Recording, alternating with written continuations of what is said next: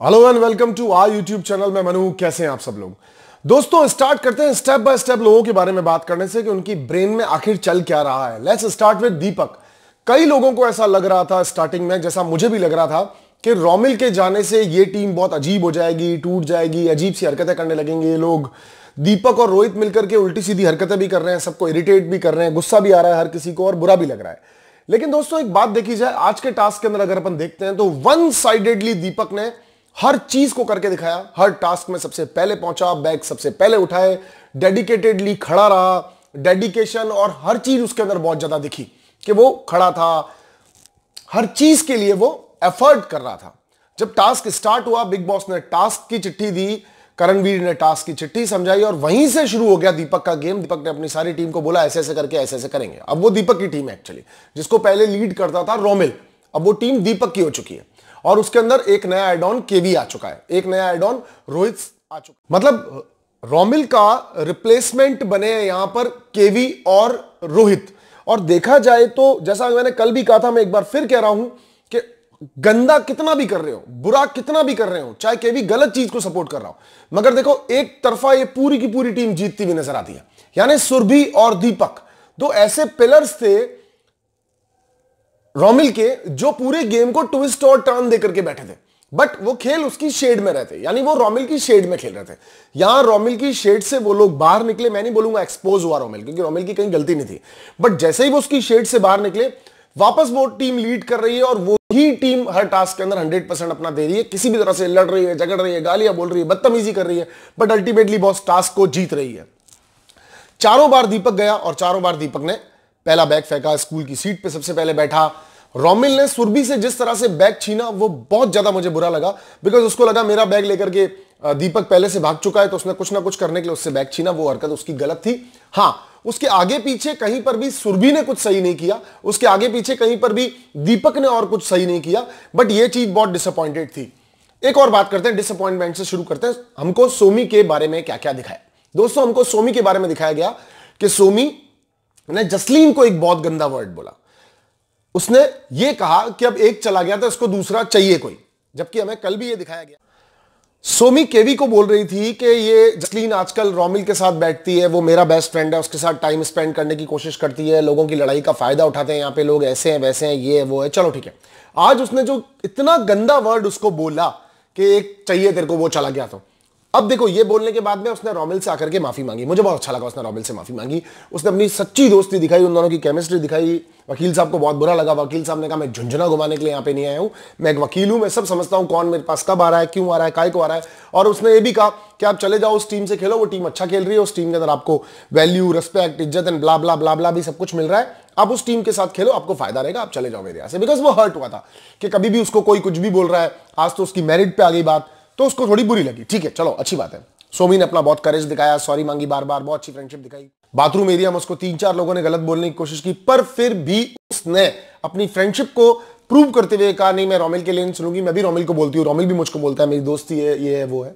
वहीं पर एक अगले चंग में उसने ये बोलता हुआ दिखाया, हमको बोलता हुआ दिखाया, कि वो ये बोलने लगी कि हाँ ठीक है, मैं भी इस फ्रेंडशिप से बोर आ गई हूँ बार बार कितनी बार बोलूँ, क्योंकि के वी सुर भी उसको बोल रहे थे, तुम एक तरफा कर रही हो, तुम उसके लिए डेडिकेटेड हो रही हो, उसको कोई तुम्हारी ज़रूरत नहीं है। रोहित पीछे से मसाला डालते हुए बोला कि, वो लोग तो तुम्हारा मज़ाक उड़ा रहे हैं बार अभी मैं जस्ट देख करके आया हूँ। तो ये सारी चीज़ें दिखा रही थी, कहीं ना कहीं, कि सोमी को उठाया जा रहा है, बाहर निकाला जा रहा है। थोड़ी देर बाद में वो दीपक के साथ देखिए दीपक बेचारे बहुत तरीके से उससे मस्तियाँ करते हुए, चप्पल खाते हुए भी कह रहे थे, यार, बिग बॉस, हमें ट्रॉफी की ज़रूरत नहीं, हम तो इस चीज़ के लिए आए वो अपनी मोहब्बत दिखा रहा था। वहीं पर सोमी, जब उसने कहा कि, अरे, आपका ध्यान वही है, वो आपको एक तक घूर रहा है तो आप उनके पास चले जाओ। ऐसा दीपक ने रोमिल के लिए बोला। और वहाँ पर देखो, वो उसने क्या बोला? नहीं नहीं नॉट इंटरेस्टेड मुझे कोई मतलब नहीं है। ये बहुत ज़्यादा अजीब बात थी। एनीवेज आगे बढ़ते फिर एक टास्क हुआ टास्क के अंदर जैसे ही सोमी टास्क वो गेट वाली जगह पे जाके खड़े हो गए, लोग खींचातानी होनी शुरू हो गई, चीज़ों के लिए लड़ाइयाँ होनी शुरू हो गई। वहीं पर जैसे ही रोमिल ने उसको हटा दिया वहाँ से। हटाते ही सबसे बड़ा बवाल क्या हुआ दोस्तों? कि वहाँ पर सोमी ने बोला, तुमने मुझे कैसे हटा दिया? मुझे कैसे हटा सकते हो तुम? जसलीन को हटाओ, जसलीन को हटाओ, जसलीन को हटाओ। अब वो बेचारा बंदा फंसा हुआ है। वो जसलीन को कुछ कह नहीं पा रहा, क्योंकि उसको लग रहा है, चलो इस बहाने अपन जसलीन के बहाने ये थोड़ा बहुत कंटेंट दे पा रहे हैं, वरना तो ये लोग स्टैंड बाय नहीं होने दे रहे, खड़ा ही नहीं होने दे रहे, साले कुछ करने ही नहीं दे रहे। तो उसने उस चीज़ को थोड़ा सा बॉदर करने की कोशिश की। वो सही करता, इससे पहले सोमी बहुत कुछ बोल चुकी थी। सोमी जसलीन को बोली, जसलीन ने जाकर के दीपिका जी को कहा कि इस तरह के गंदे गंदे वर्ड यूज़ कर रही है। और वो चीज़ भी हमको दिखाई गई कि वो जिस तरह से बिहेव कर रही थी। आगे बढ़ते हैं। फिर जैसे ही गेट खुल गया गेट खुलते ही सोमी खान ने ज़बरदस्ती उसको पकड़ा और पकड़ करके उसको अंदर नहीं जाने दिया। और बाद में गाड़ी में बैठते हुए सोमी को यह भी बोलते हुए दिखाया कि सोमी ने बोला, निकालो इसका बैग निकालो, देखते हैं इसको कौन रखता है गेम के अंदर। बाहर निकालो साली। मतलब सॉरी साली मैं बोल रहा हूँ अपनी तरफ़ से। बाहर निकालो उसको, साली निकल गया मेरे मुँह से सॉरी तो ये सोमी खान के बारे में। Now come to Romil Romil ने मेगा दादे को गले मिला। मेगा को जाकर गले मिलते हुए बोला, बहुत प्यार से कि मैडम हमसे नारा आ जाएगा मैडम, हम तो दोस्त को दोस्त मानते हैं। मैडम, चाहे कैसा ही हो, मैडम, ऐसी आँखें, आपकी आँखों में आँसू आ गए तो मतलब मेरा तो दिल भरा है। मैडम, उसने आकर के वहाँ पे उनसे गले मिला। That was a very nice gesture यहाँ पे एक इस तरह के हक की सबको ज़रूरत होती है जो आपने दिया। मुझे भी बहुत अच्छा लगा। वहीं पर फिर जो जसलीन उनसे कहने लगी मतलब जसलीन कहीं ना कहीं स्टे करने के लिए गेम में रहने के लिए उसने कहा सेकंड वीक में आप मुझे बहुत इनोसेंट लगे थे। तो एक्चुअली उन तीनों के बीच में बैठी हुई इनोसेंट थी मेगा दांदे। अरे ये कहाँ से इनोसेंट लगा तेरे को? ये कैसे इनोसेंट लगा तेरे को? एक्चुअली दैट वाज राइट कि रॉमेल कैसे इनोसेंट लगा?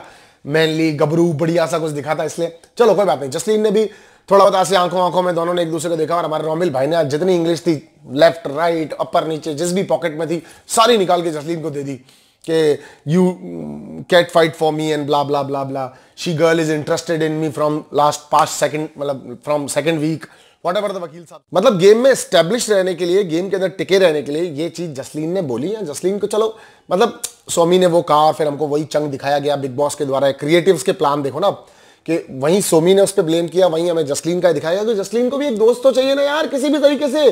चाहे अच्छा दिखा करके, बुरा दिखा करके, बुरा बोलो अच्छा बोलो, एक दोस्त तो रहो, साथ में सालो, घर के अंदर कोई है नहीं किसी का। तो वो चीज़ वो दिखाई गई। दीपिका जी का एक बहुत अच्छा पार्ट दिखाया गया जब रोहित, आपका now come to Deepika ji. अब एक एक करके सब पे चल रहा है। दीपिका जी का बहुत अच्छा पार्ट दिखाया गया जब रोहित और श्री लड़ रहे थे ज़ोर ज़ोर से तो वहीं पर दीपिका जी ने कहा, आप बहुत गंदी गंदी गालियाँ बोल रहे हो। गाइस प्लीज़ आप लोग चुप हो जाओ, क्योंकि मैं इस कॉन्वर्जेशन का हिस्सा नहीं बनना चाहती, इस तरह की बातें नहीं देखना चाहती। वहीं पर जब जसलीन बहुत गंदा गंदा बोल रही थी श्री के साथ बैठ करके जो हमें दिखाया नहीं गया बट हमें ऐसा फील करवाया गया कि एकदम से दीपिका जी वहाँ से उठी और दीपिका जी वहाँ से उठ के भी चली गई और दीपिका जी ने कहा कि यार मैं इस पार्ट का हिस्सा नहीं बन सकती जिस तरह से आप लोग लोगों के बारे में बात करते हो। मैडम आपको कोई इतना गंदा बोल नहीं पा रहा, इस वजह से आपको उतना पेन नहीं हो रहा। जसलीन को और मेघा जी को झाड़ू मारने वाली समझा जाता है और कुछ भी कहा जाता है उल्टा सीधा। बिकॉज़ वो एक कच्चे घर हैं, कच्चे लोग हैं, शायद कल चले जाए, परसों चले जाए। ऐसा रोहित ने तो लोगों को डाल डाल के, बोल बोल के मतलब वो कहते हैं ना स्लीपल सेल की तरह उसने लोगों के दिमाग में एक चीज़ फ़ीड कर दी है कि अगले वीक तो ये जाएँगे ही जाएँगे, अगले वीक तो ये जाएँगे ही जाएँगे। शायद वोटर्स भी इतने इन्फ्लुएंट हो जाए उनकी बातों से कि वो भी वोट ना करें। हालाँकि ये लोग जसलीन को इतना डिजर्विंग खिलाड़ी भी नहीं है बट कई बार एक बात को सौ बार रिपीट करने से वो सत्यता में परिवर्तित हो जाती है दोस्तों। वो करने की कोशिश की जा रही है रोहित द्वारा। Now come to Rohit. देखो, मैं रोहित के बारे में दोस्तों इतना सा बोलूँगा कि उसने श्री को एक लाइन बोली थी, जो मैंने अभी सिर्फ़ एक लाइन ही बता रहा हूँ, मैं बाकी की बातें बता नहीं रहा हूँ। तेरे को तो मारूँगा। जा जा, रो मत। तेरी दीदी बुला रही है। जा, दीदी के पास जा, दीदी के पास जाकर के बैठ जा। जा, गेम से बाहर चला जा, बाहर जाके कूद जा, ऐसे घेर से, घर से बाहर चला जा। मैं आपको एक बात बताता हूँ एक प्रैक्टिकल चीज़ मुझे बताना सपोज़ टू बी आप मेरे सामने खड़े हो। आप मेरे से बल में दुगने हो, औकात में दुगने हो मार्केट वैल्यू में दुगने हो, हर चीज़ में दुगने हो आप। ठीक है? वो एक कैच ही पकड़ा है पर आपने, पर पकड़ा है वो कैच ठीक है? और मैं आपको कहता हूँ कि तेरे को तो मारूँगा। आपका रिएक्शन क्या होगा? मैं एक बार भी नहीं कह रहा हूँ कि श्री सही आदमी है। श्री सबसे गंदा आदमी है। लेकिन आप मुझे एक बात बताओ, ऐसा कहने पे आपके साथ क्या होगा? नहीं होगा ना कुछ? करोगे ना कुछ? तो जो करोगे वो सोचो। रोहित को समझ में आ चुका है कि बुली करो, छेड़ो, मज़े लो लोगों के, ये लोग पंचर हो जाएँगे। दीपक हंड्रेड परसेंट उसके साथ है इस गेम के अंदर तो दीपक भी वो कर रहा है। लेकिन मैं आपको एक बात बताता हूँ, दोस्तों। हमारी तरफ़ एक कहावत है, मैं कहावत नहीं बोलता हूँ, आपको सिर्फ़ बोल के बताता हूँ कि जिस तरह की प्लांटेशन होंगी, उसी तरह के फल उगेंगे। तो रोहित अगर जिस नोट पे उनके साथ आया है करेगा ये हमको एपिसोड के चंग में क्लियर क्लियर दिखा दिया है। सो so, दोस्तों बहुत ज़्यादा क्लियर बात है कि जैसी संगत राखिए वैसा ही फल होए तो इस तरह से होगा। सुरभि राणा कल तक रोमिल के शेड में रह करके ये सारी चीज़ें करी थी हम सुरभि पे आ चुके हैं। अब वो इंडिपेंडेंटली कर रही है।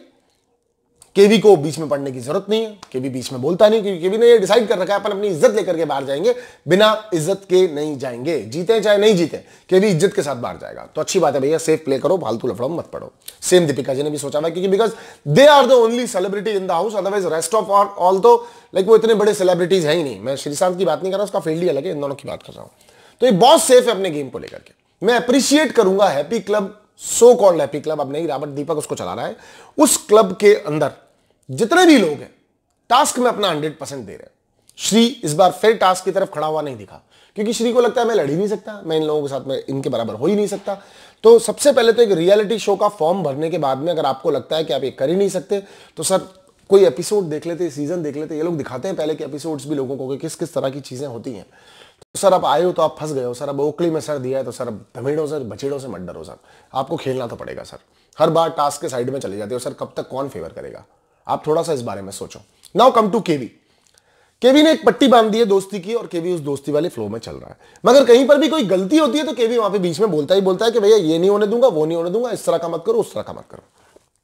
दीपक ब्लाइंडली पहले रोमिल को फेवर करता था, अब उनको फेवर कर रहा है। रोहित को फेवर कर रहा है।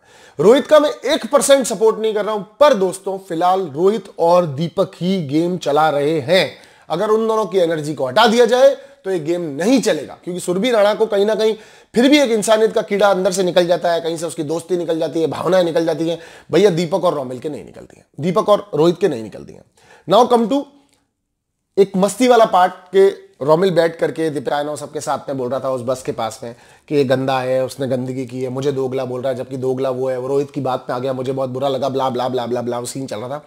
इतने में दीपक उठा, बस से निकला और बस से निकलता हुआ गया। तो मतलब दीपक ने वो सारी बातें सुनी। But now he is not interested in the friendship जो वो डिसाइड कर रहा है, वो हो रहा है, अब मैं जसलीन का बैग उठाऊँगा, अब मैं दीपिका जी का बैग उठाऊँगा, अब मैं ऐसे करूँगा, अब मैं वैसे करूँगा, और वो वो सब कुछ कर रहा है। तो एक्चुअली अब दीपक को किसी की ज़रूरत नहीं है। और दीपक इतना स्ट्रांग प्लेयर है कि वो चार लोगों को साथ लेकर के घूम रहा है। सोमी एक्सपोज हुई आज किसी तरह से। जसलीन और मेघा के पास एक्चुअली करने को कुछ ज़्यादा नहीं बचा है। तो वो गेम में अपना हंड्रेड परसेंट देती है या फिर अगर वो लोग उनको छेड़ते हैं तो वो बहुत ज़्यादा बोलते रोमिल ने जब रोहित को सर मारा तो वहाँ पर कई लोगों को ऐसा लगा होगा कि रोमिल ने इंटेंशली मारा। रोमिल ने इंटेंशली सर बिल्कुल नहीं मारा। सर गलती से रोहित का टच हुआ रोमिल के। बट वो इतने गुस्से में था कि उसने उसको गलती नहीं समझा। सेकंड ऑफ़ सेकंड में आपको समझ में नहीं आता। तो उसके एक्शन का रिएक्शन देते हुए उसने वापस पुश किया जो लोगों को शायद अच्छा बुरा लगा हो लेकिन रोमिल ने वो इसलिए किया क्योंकि उसको लगा इसने मुझे सर मार दिया। भैया हरियाणा का है उसको लगा भैया अपने को मारा हम भी मारो गेम शुरू। वहीं पर दोस्तों एक और चीज़ दिखाई जब चप्पल वाली बात दीपक बोल रहे थे कि मैं आ, तो ये चप्पल जीतने के लिए आया था ट्रॉफी वॉफी की तो किसको ज़रूरत है तो वहाँ पे बैठा हुआ दूर से रोमिल ऐसे बोला हे भगवान, इनकी इच्छाएँ पूरी कर, जो जो इनकी इच्छा है, वो इनकी इच्छाएँ पूरी कर। तो मतलब रोमिल कह रहा है कि भैया, ये चप्पल जीतने इसको चप्पल दिलवा दो, बात खत्म। सो ये बात बहुत ज़्यादा फनी और मस्त थी।